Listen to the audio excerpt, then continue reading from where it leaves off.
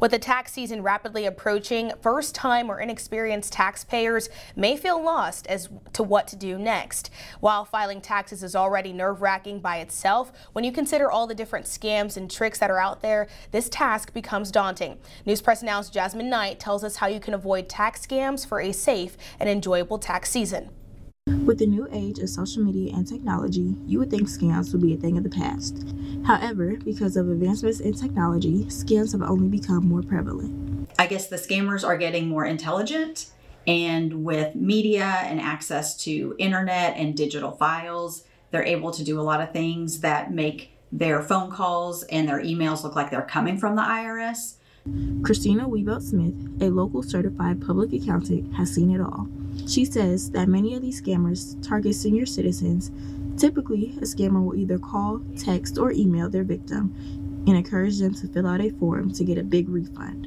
Another trick is to convince the victim to conduct a wire transfer or to load a prepaid debit card to pay off a big balance.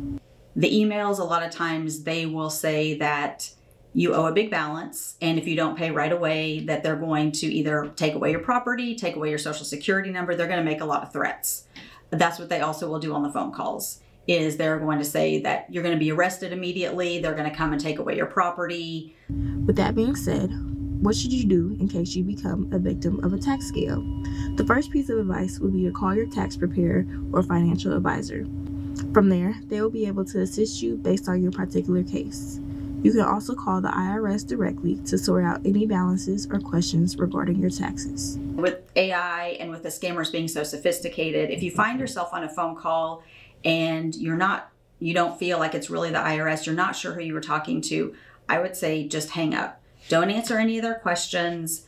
They can use your voice recordings, they can take pieces and snippets of what you say to make it sound like you said yes to something, that you agreed to something, that you gave them their name. So do not give out any personal information. And then I would just hang up on them. It is also important to remember that the primary contact method for the IRS is by mail. So please be hazardous of any potential scams that take place via your phone or computer. Reporting for News Press Now, I'm Jasmine Knight.